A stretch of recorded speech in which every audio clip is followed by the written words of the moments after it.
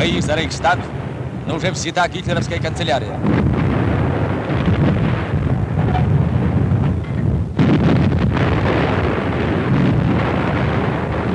Это личный кабинет Гитлера.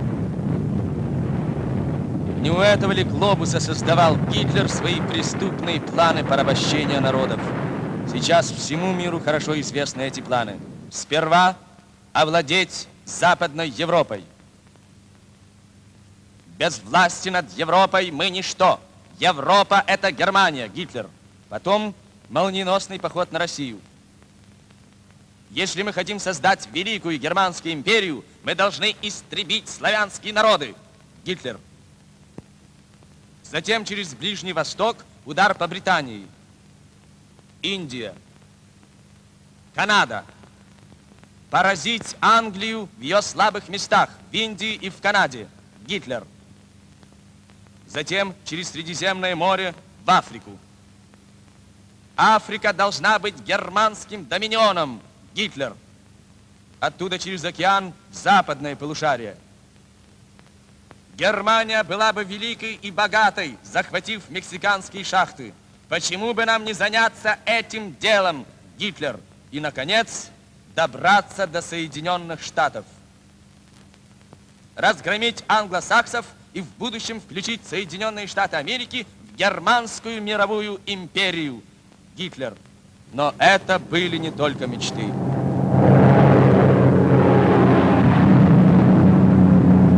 Он сбрасывал десанты на севере Норвегии.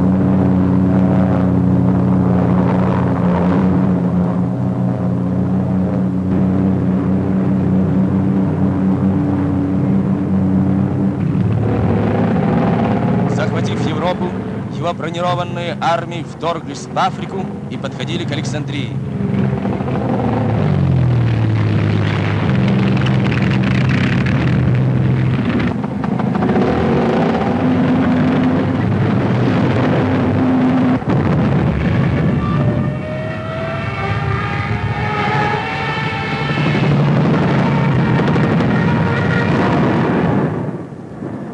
Подводные лодки пускали ко дну корабли у берегов Америки.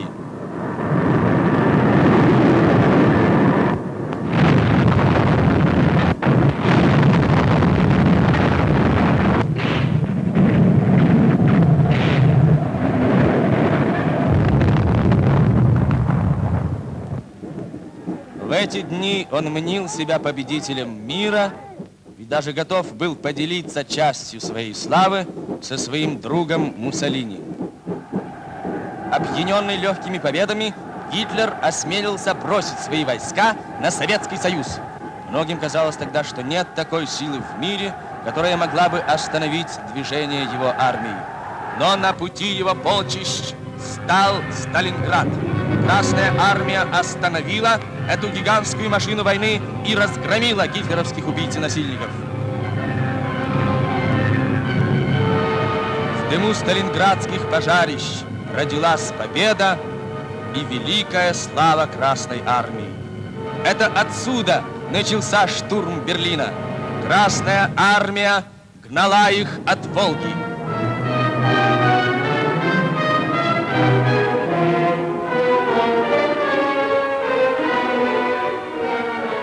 Она гнала их через Дон.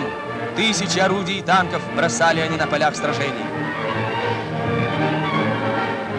Через Десну, хотя они жгли наши села, взрывали заводы, уничтожали пути. Красная армия гнала их за Днепр. Тысячи немецких трупов остались на полях Украины. Топила их в Буге, окружала, уничтожала. Пройдена Двина. Их отбросили за Неман. Позади освобожденная советская земля, впереди Европа и ее порабощенные народы. Висла, враг смят, разбит. Красная армия вышла к последнему водному рубежу перед Берлином. Красная армия вышла на Одер.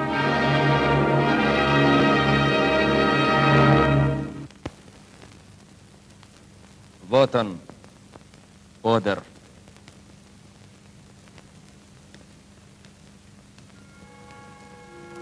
Позади четыре года войны, четыре года тяжелых воинских трудов и великих побед. Красная армия пришла сюда, умудренная опытом войны, закаленная, сильная и как никогда готовая нанести врагу свой последний сокрушительный удар. Немцы называли Одер рекой своей судьбы. Сейчас судьба этой немецкой реки в руках русского солдата.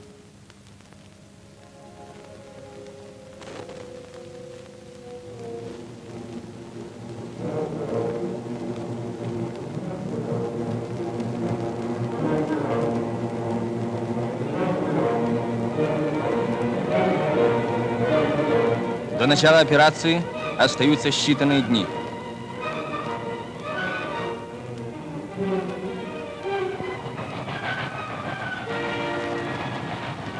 Подходят последние поезда.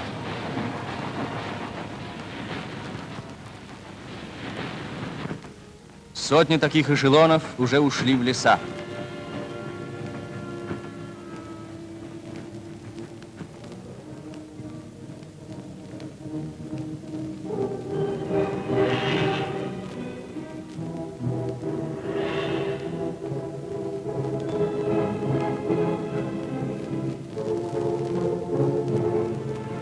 Десятки тысяч тонн горючего ушли под землю.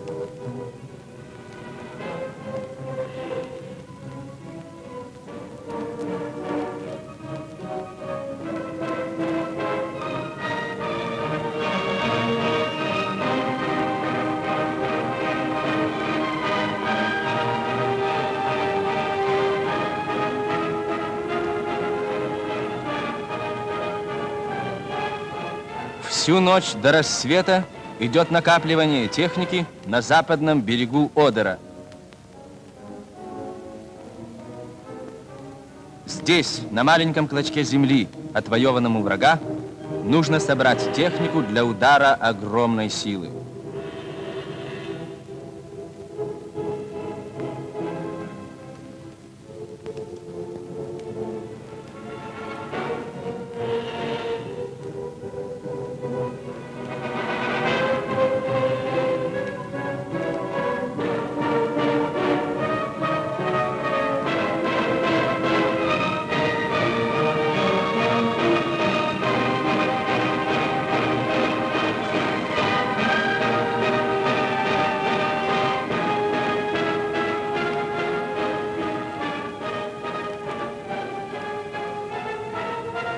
С этого плацдарма будет начато наступление на Берлин.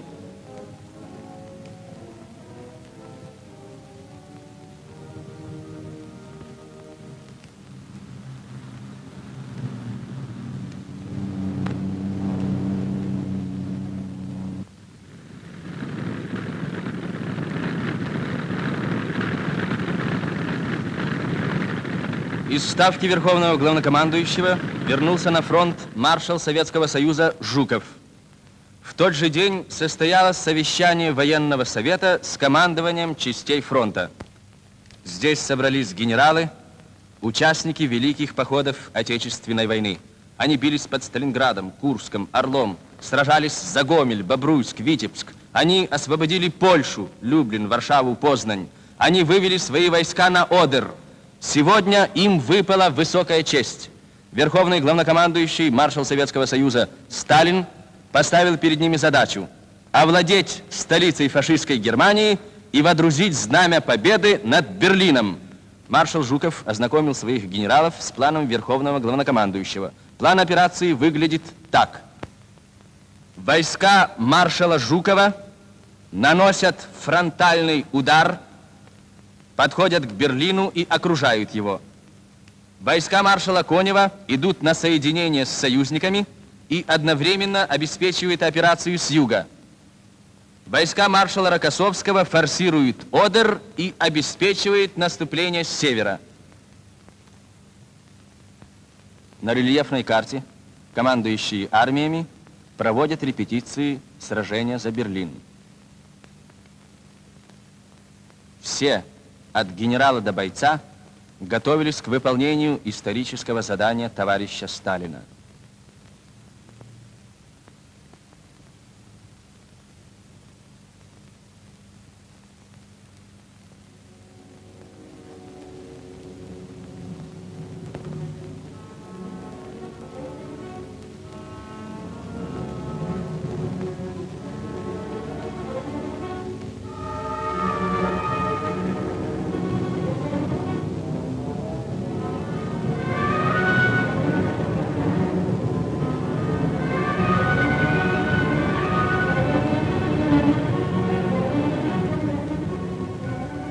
Все готово к решающему наступлению.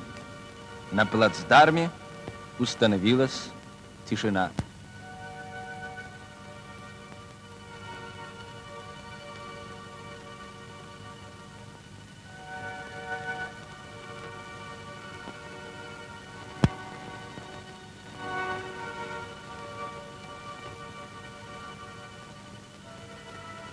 Ночью, ровно в 4 часа, 22 тысячи орудий внезапно ударили по вражеской обороне.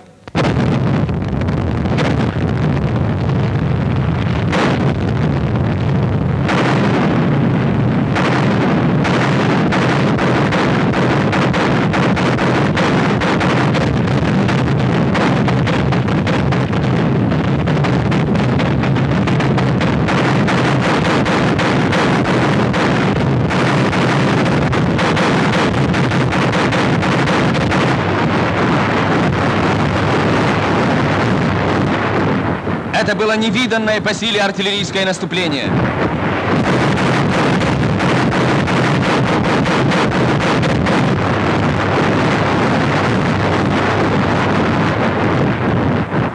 Между Одером и Берлином, где сейчас происходит сражение, немцы создали четыре мощных линии обороны. Каждая из них рассчитана на длительное сопротивление. Сняв свои войска с Западного фронта и перебросив их на восток, Немцы сосредоточили здесь полумиллионную армию. Это план немецкой обороны. Это план нашего наступления. Сегодня эти планы столкнулись на поле боя.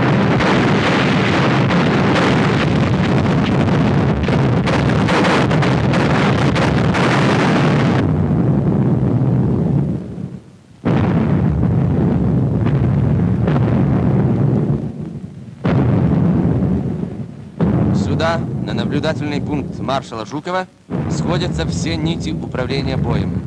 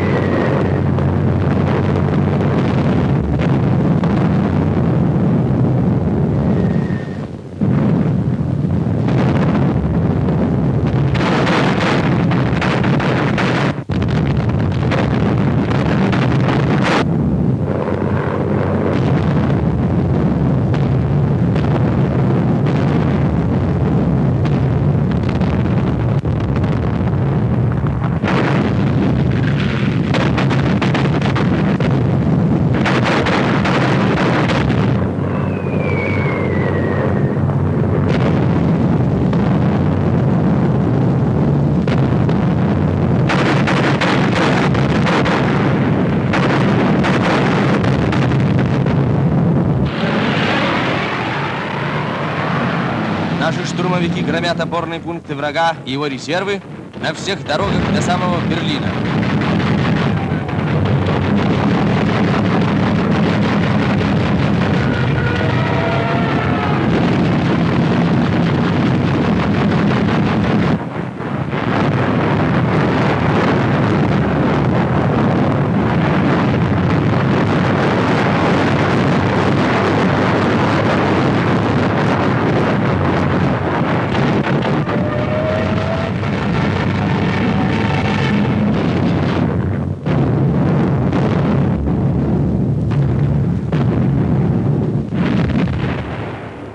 Прорыв вводятся танки.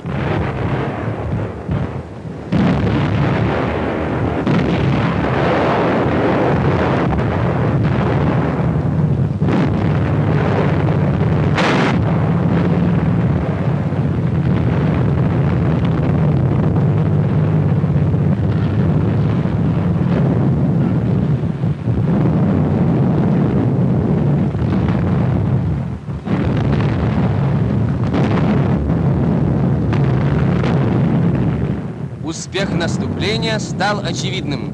На плацдарм перебрасывается новые части.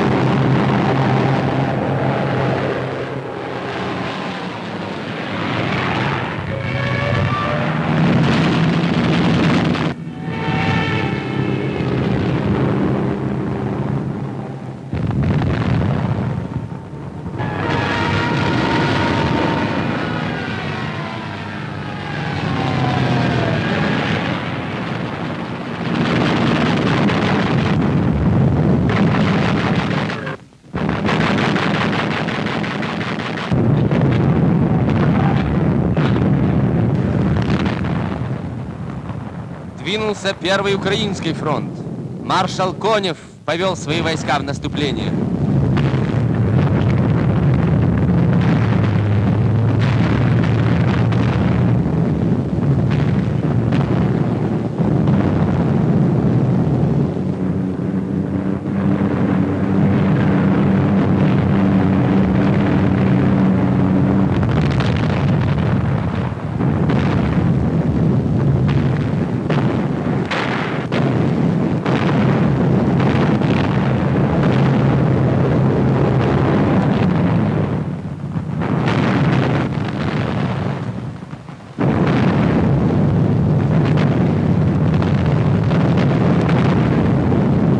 Внезапно с первого удара и огромная его сила решили исход этой операции. В кратчайшие сроки были пройдены Зеловские высоты, преодолена густая сеть каналов и озер, сметены опорные пункты и узлы сопротивления. Отбрасывая врага к стенам его обреченной столицы, советские войска 21 апреля подошли к Берлину.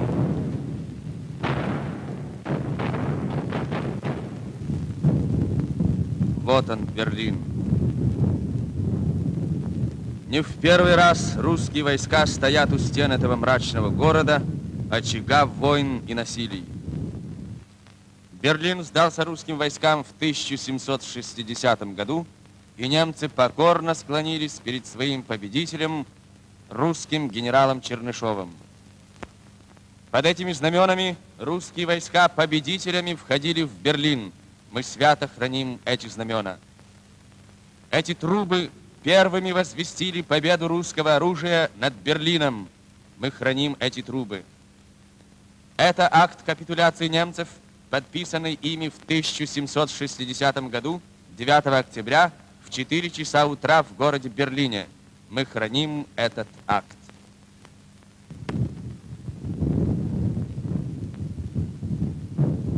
Сегодня русские пушки снова стоят у стен Берлина, и русский солдат снова сражается за свободу и счастье народов. Огонь!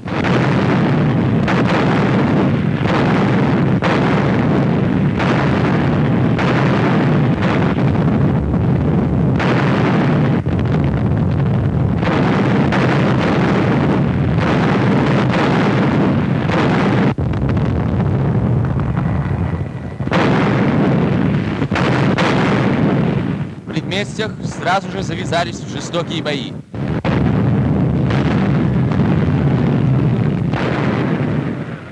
До сих пор берлинцы судили о войне по хвастливым сводкам Геббельса. Теперь война пришла сюда, в Берлин, на эти улицы. Она ворвалась в их дворы, в их дома, в их собственные квартиры.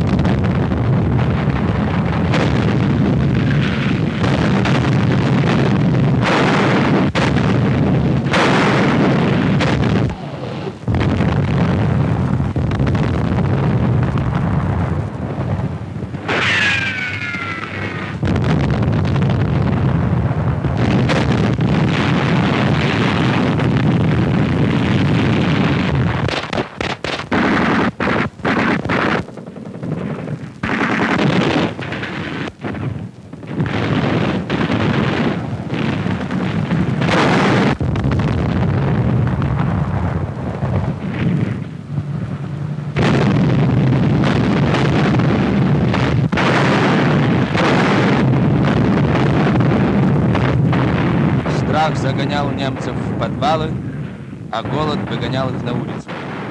Страх и голод – все, что оставил им Гитлер вместо обещанных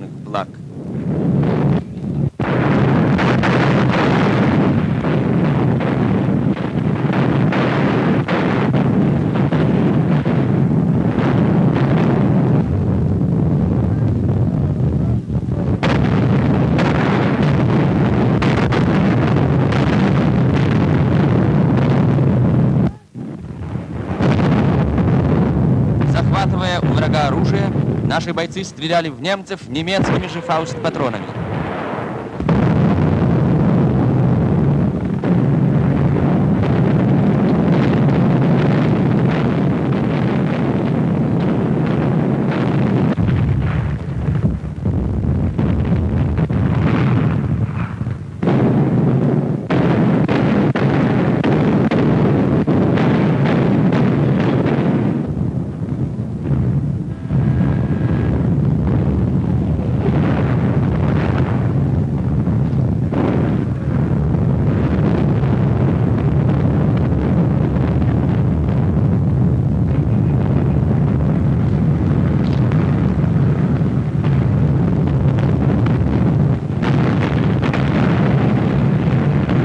Бои шли в сотнях улиц и переулков, и часто люди не знали, что происходит за углом. Все же фронт, сжимаясь, двигался вперед, как одно огромное целое, в едином стремлении окружить Берлин.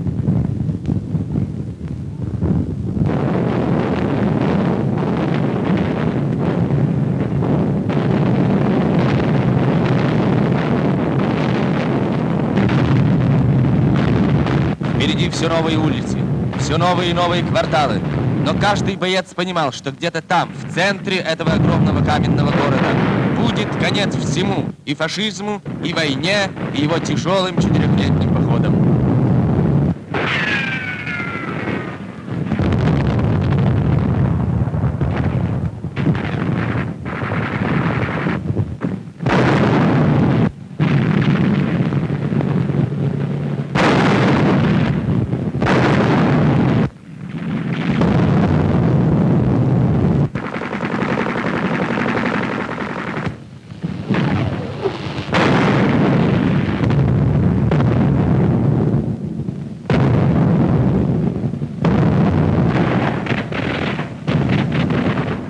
Бойцы рвались вперед через горящие дома, через развалины, через чердаки, через подвалы. И в этом неуклонном продвижении вперед было что-то неотвратимое. Многие немцы понимали это и сдавались в плен.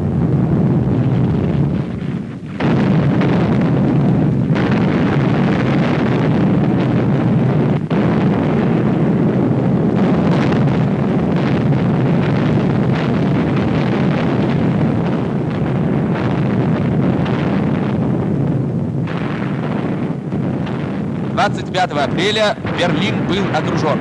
Первый Белорусский фронт соединился с армиями Первого Украинского фронта и замкнул кольцо вокруг Берлина. К этому времени в городе обстановка сложилась так. Армия Кузнецова нависла над центром Берлина с севера. Армия Берзарина пробивалась к центру с востока, но здесь немцы особенно жестоко сопротивлялись. Армия Чуйкова пробивалась к Темпельгофу, с юга и юго-запада подходили соединения маршала Конева.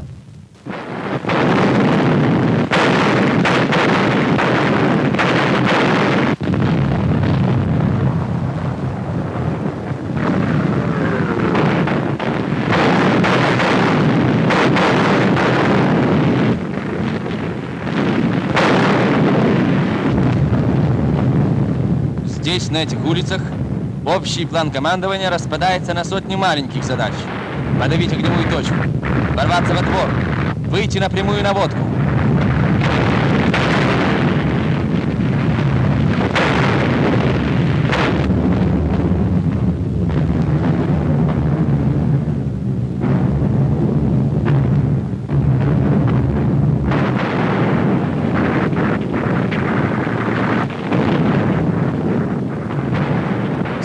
же дней советское командование приказало немцам разбирать баррикады и завалы, которые они построили собственными руками.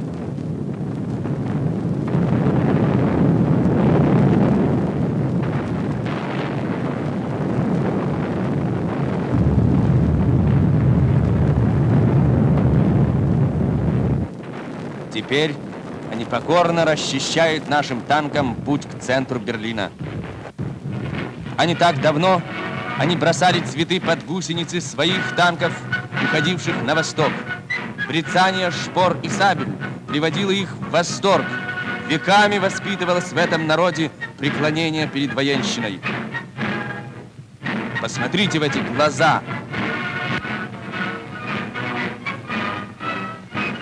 Посмотрите на эту толпу, на эти руки, которые иступленно тянутся с криком «Хайль! Гитлер!» Сейчас эти руки униженно тянутся за хлебом, и Красная Армия дает им этот хлеб.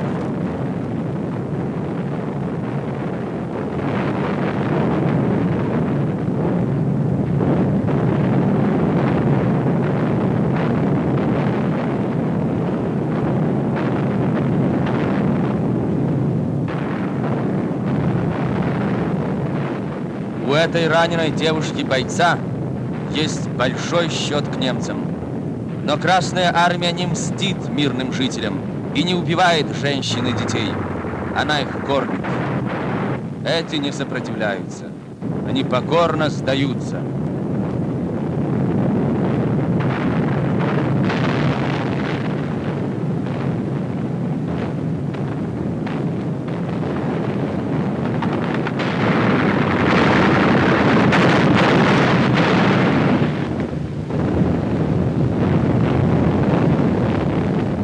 эти вынуждены сдаться.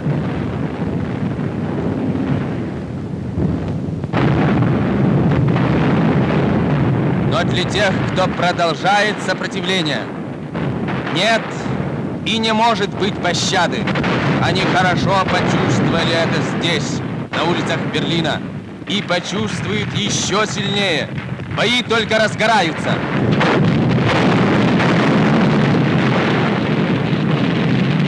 Это центральный берлинский аэродром Темпельков. Еще горели немецкие самолеты и шел артиллерийский обстрел, когда советские летчики приземлились на этом аэродроме.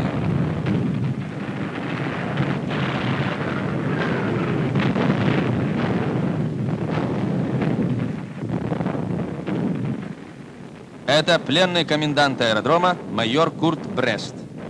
Майор вспоминается сейчас другие, более радостные для него дни. Когда-то Геринг принимал здесь парады и награждал своих асов. Сам майор получил здесь из рук Геринга свой первый крест.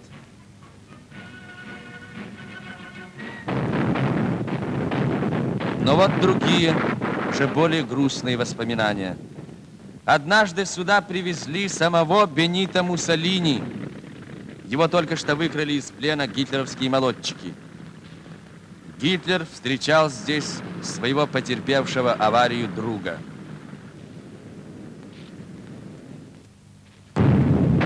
Печальные воспоминания у майора.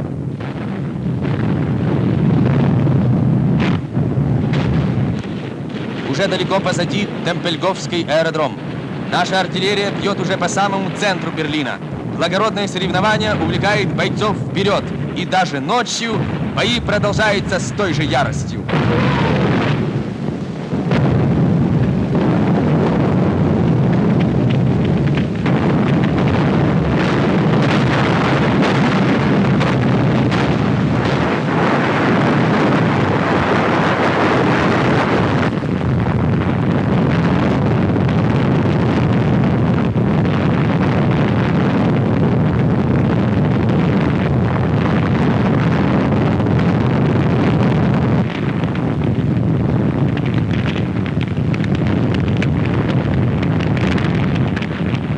Берлин горел.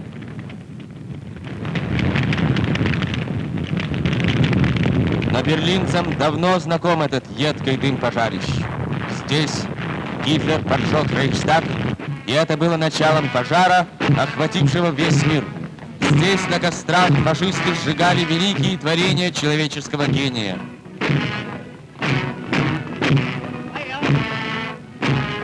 Здесь факелами шагали гитлеровские молодчики, восстанавливая времена Средневековья.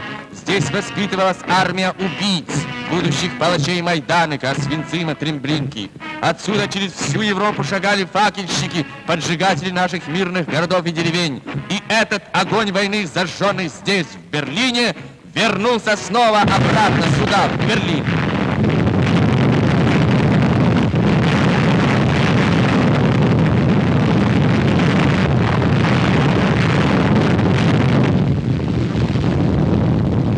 Самом центре города сражаются наши бойцы.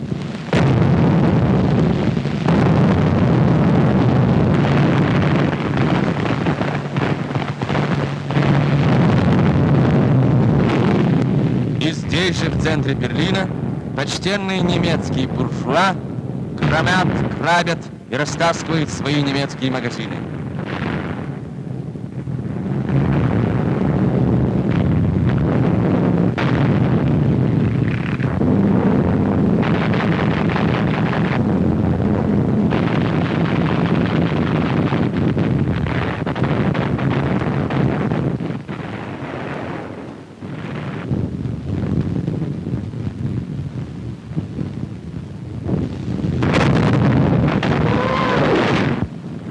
Восьмые сутки длится это невиданное сражение.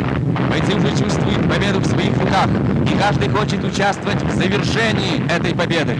Минометчики соревнуются с артиллеристами, пехотинцы с танкистами, рвутся вперед автоматчики. Тяжело терять боевых товарищей в эти последние часы, когда победа уже так близка.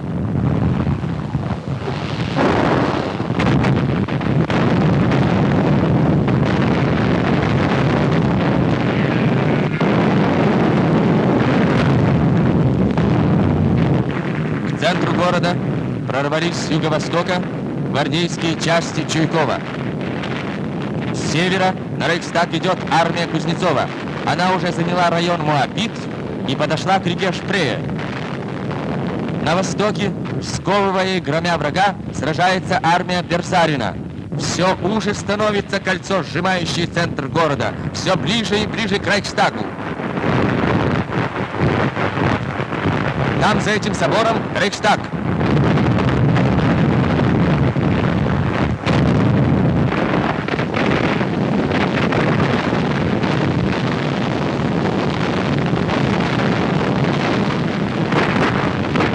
Ярость сражения достигла предела.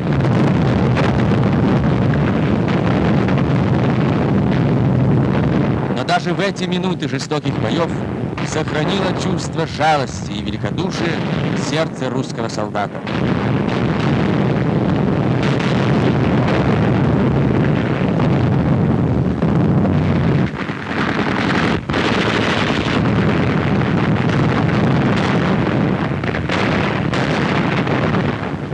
Что дал этой женщине Гитлер с его преступными планами о мировом господстве?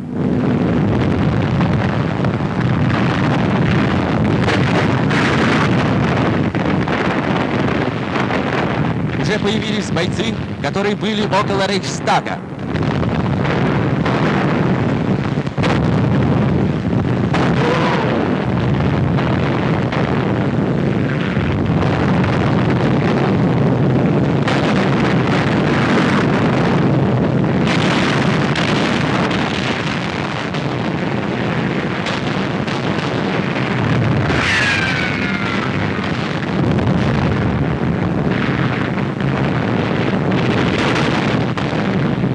Рейхстаг совсем близко.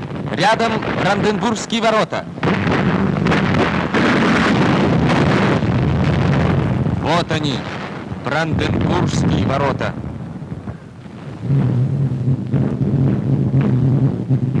Место былых триумфов Фридрихов и Вильгельмов, королей прусских и императоров германских. Еще недавно барабанила здесь на весь мир дутая фашистская слава. С этим покончено. До Рейхстага всего 200 метров. У всех сейчас только одна мысль, одно стремление – водрузить знамя победы над Рейхстагом.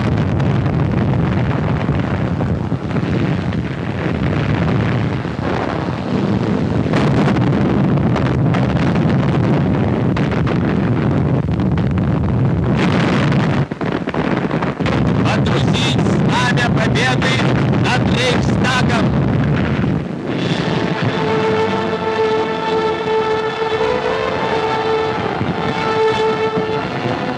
Водрузить знамя победы над Рейхстагом.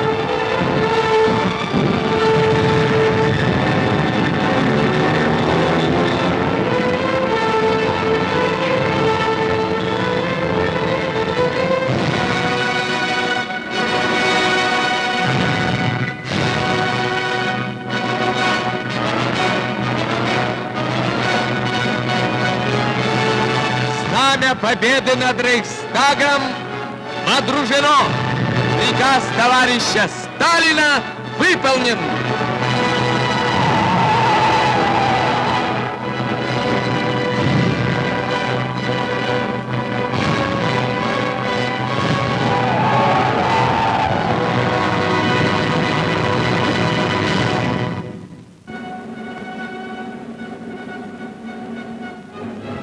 Второе мая 1945 года. Дата, которая навсегда войдет в историю.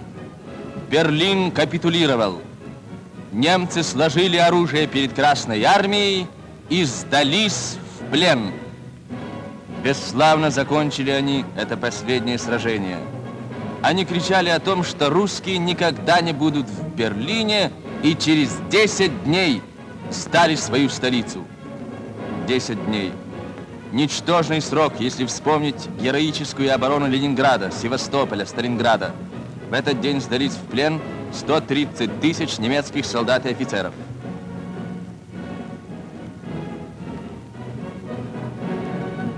А на стенах домов еще сохранились надписи.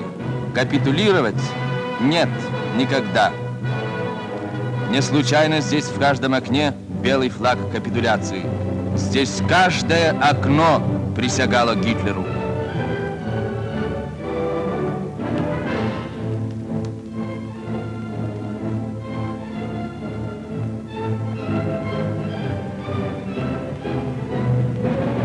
Это генерал от артиллерии Вейдлинг, командовавший обороной Берлина.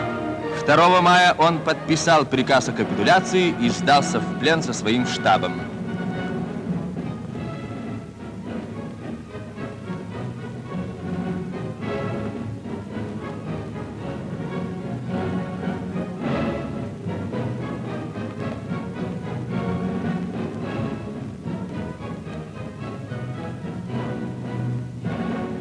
Бесславная встреча.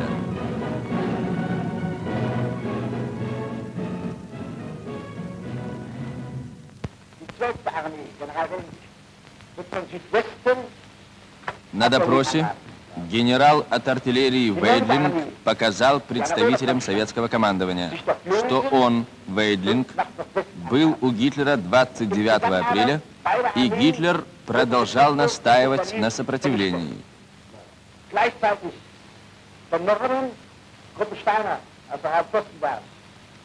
Гитлер рассчитывал, что немецкая 9-я армия, действующая в районе юго-восточнее Берлина, и армия, действующая против союзников юго-западнее Берлина, при поддержке танковой армии, окружат и разобьют советские войска. Значит, генерал Байден видел лично 29 апреля Гитлера. Хорошо. Спросите, как Гитлер выглядел, и каково было его состояние. Вот. Herr General, wie war das Aussehen Adolf Hitlers in den letzten Tagen? Ich habe in meinem Leben einmal dem Führer gegenüber gestanden. До этого я видел фюрера год тому назад. Я был потрясен, увидев его сейчас. Это была развалина. War der Mann geworden? Eine körperliche Ruine. Er saß tief eingesunken in seinen Stuhl, die Hände Он сидел совершенно раздавленный в своем кресле. Его руки свисали вот так над картой. Он говорил тихим, еле слышным голосом, временами запинаясь. war. Это был конченый человек. Тот же день вице-адмирал Фосс опознал в груди найденных трупов труп Геббельса.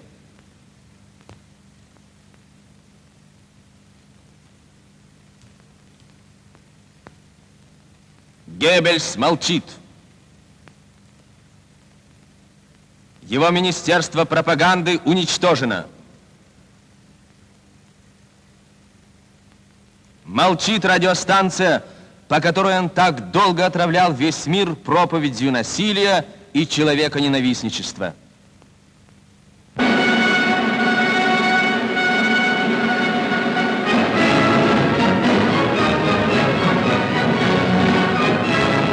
этот день Берлин посетил маршал Советского Союза Жуков.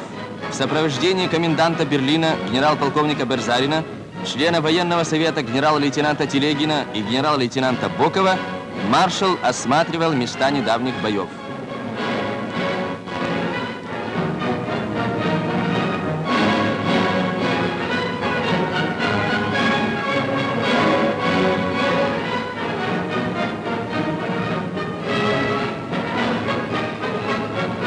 Памятник Вильгельму Первому. Генштаб. Здесь в течение долгих десятилетий вынашивались планы многих войн. Здесь военщина услужливо притворяла преступные замыслы Гитлера в планы грабительских походов. Райхсканцелярия.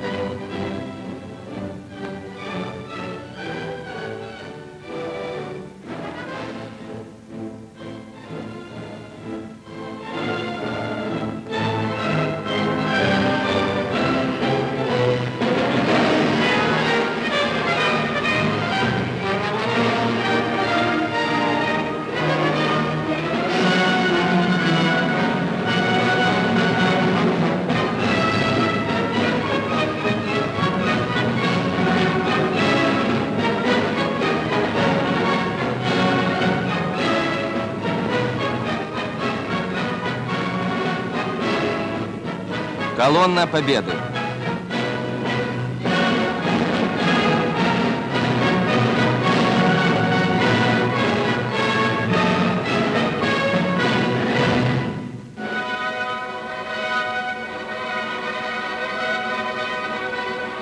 Танкисты генерал-полковника Богданова обнаружили эти знамена.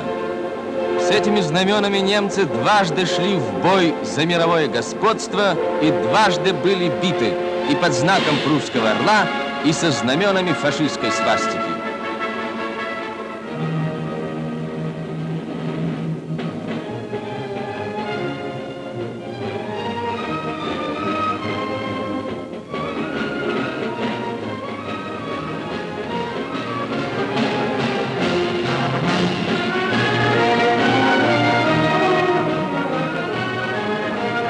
Этот день на улицах Берлина победители встретились с освобожденными французами, бельгийцами, американцами, поляками, норвежцами, англичанами.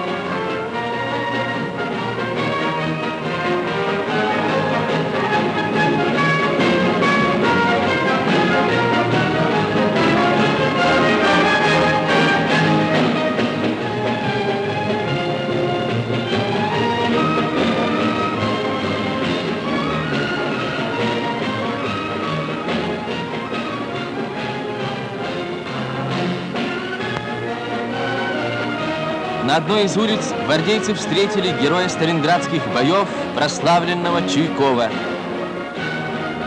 Хорошая встреча.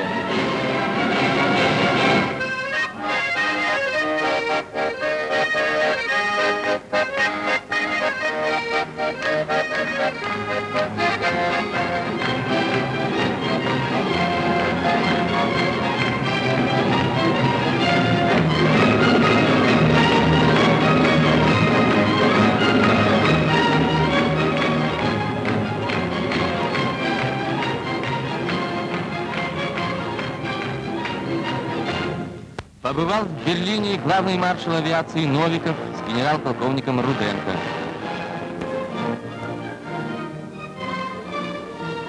У Райхштага снимаются бойцы и командиры.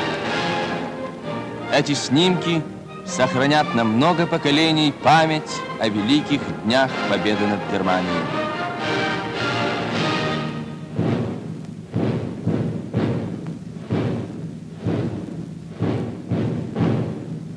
Этих стенах написано «Берлин останется немецким». Да, он останется немецким. Товарищ Сталин сказал, Гитлеры приходят и уходят, а народ немецкий, а государство немецкое остается.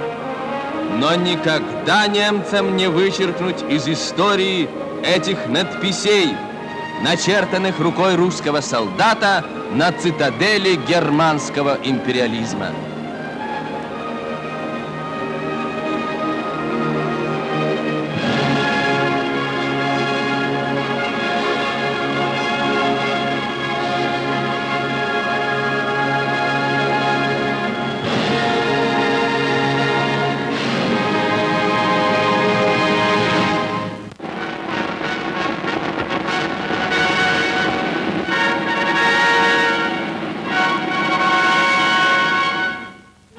Берлинская битва оказала решающее влияние на ход военных действий в Европе. Немецкая военная машина была сломлена и оказалась неспособной вести дальнейшее сопротивление. Германия капитулировала. 8 мая на Темпельговский аэродром прибыла делегация Верховного командования экспедиционных сил союзников. На этот день было назначено подписание Германией акта о безоговорочной капитуляции. Прибывших встречал генерал-лейтенант Васильев, глава делегации главный маршал авиации сэр Артур Тедер, генерал Карл Спац, командующий стратегическими воздушными силами Соединенных Штатов Америки. Гостей приветствовал генерал армии Соколовской.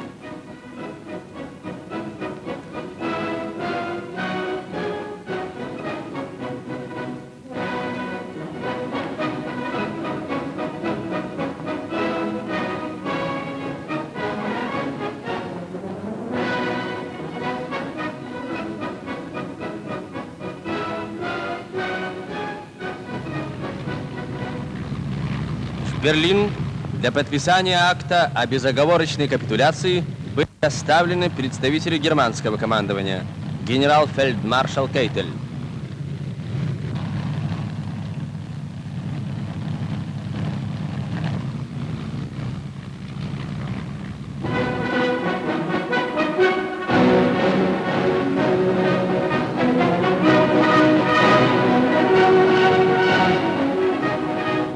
Кейтель и его спутники были отведены к машинам, где им предстояло ждать конца торжественной встречи союзников-победителей.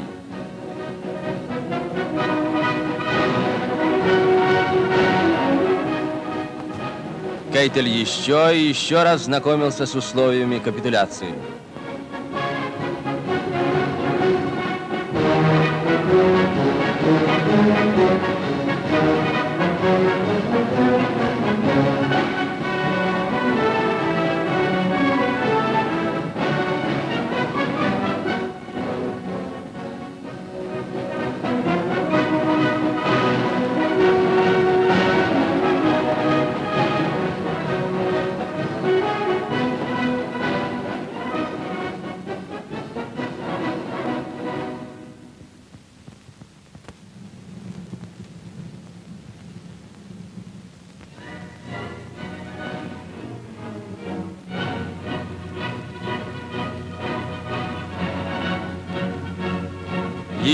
Раз довелось Кейтелю проехать по Берлину. Но это уже не тот Берлин и не тот Кейтель.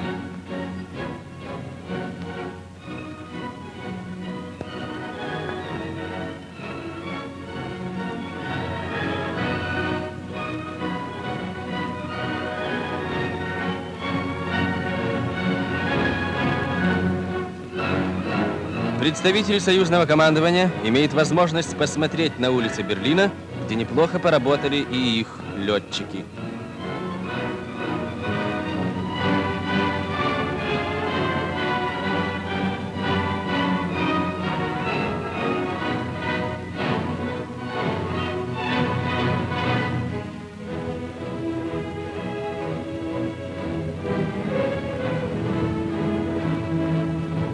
предместье Берлина Карлсхорст.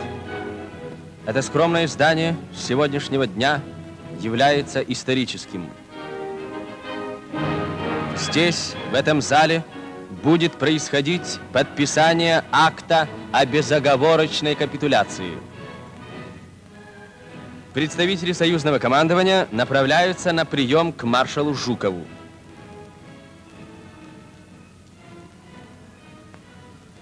Кейтель и его спутники помещены в отдельном доме. Здесь они будут ждать вызова.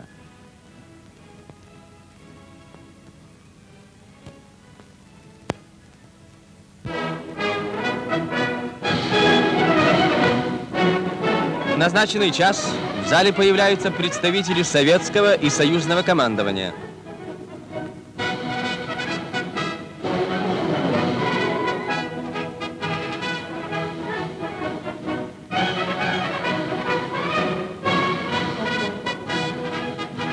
Подписание будет происходить в присутствии многочисленных представителей командования фронта и гостей союзных держав. Маршал Жуков сообщает о прибытии в Берлин представителей гитлеровского командования.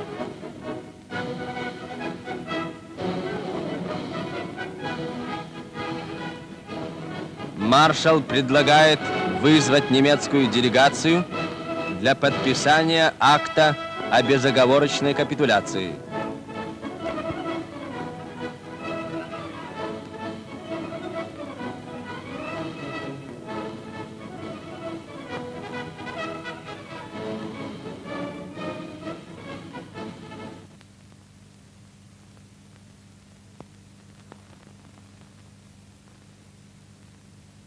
Даже в эту критическую для них минуту они пытаются сохранить свою обычную прусскую спесь.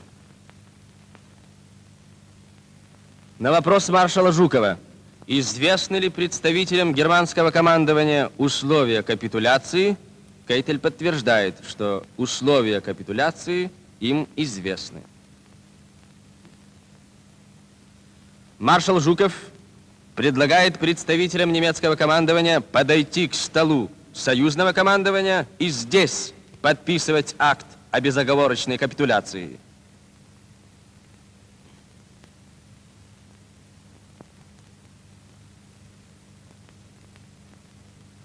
От главного командования вооруженными силами Германии капитуляции подписывает генерал-фельдмаршал Кейтель. Гитлер и Геббельс утверждали, что 18-й год никогда не повторится – да, 18-й год не повторился. Тогда перемирие и мирный договор подписывали не Гинденбург, не Людендорф, не немецкая военщина, а штатские. На этот раз три германских командующих в столице Германии Берлине собственноручно расписывается в своем полном поражении. Капитуляции подписывает гросс-адмирал Фридебург.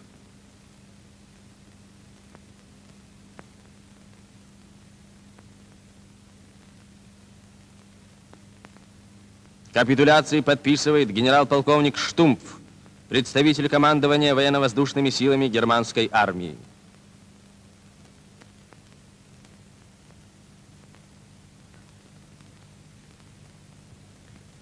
Акт о капитуляции скрепляется подписями представителей советского и союзного главнокомандования.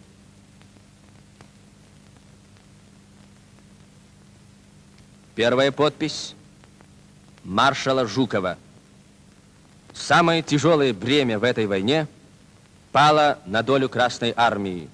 Она приняла его и геройски донесла до конца. На почетных страницах истории войны будут увековечены также и подвиги наших соратников по оружию, английских и американских воинов. Капитуляция подписана. Немецкие представители могут покинуть зал.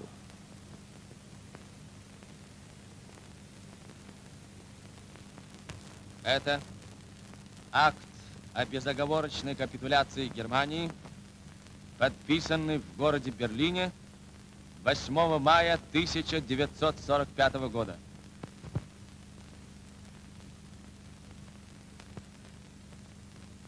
Берлин. Десятки миллионов жизней стоил человечеству этот зловещий город. Он хотел выситься и красоваться на развалинах поверженного мира. И вместо этого сам лежит сейчас в развалинах, поверженный и безмолвный. Таков сегодня Берлин и такова сегодня Москва.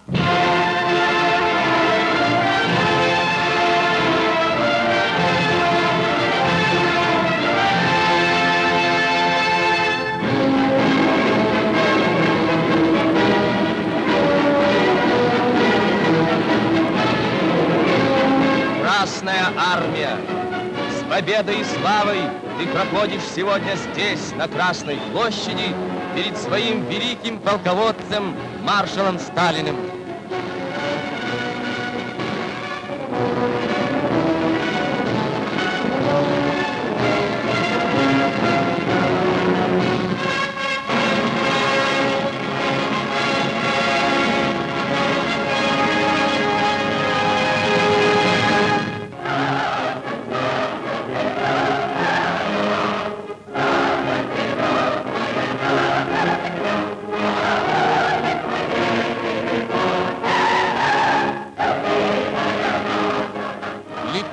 Советские люди, вы завоевали победу. Вы совершили то, чего не мог сделать никто другой в мире. Многие поколения будут с гордостью вспоминать о суровом величии прожитых вами дней, смертельности минувших боев и глубине вашего трудового подвига.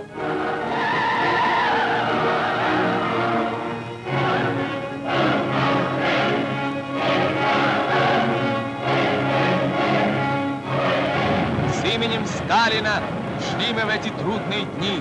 С именем Сталина идем мы сегодня вперед, спокойные и уверенные в нашем будущем.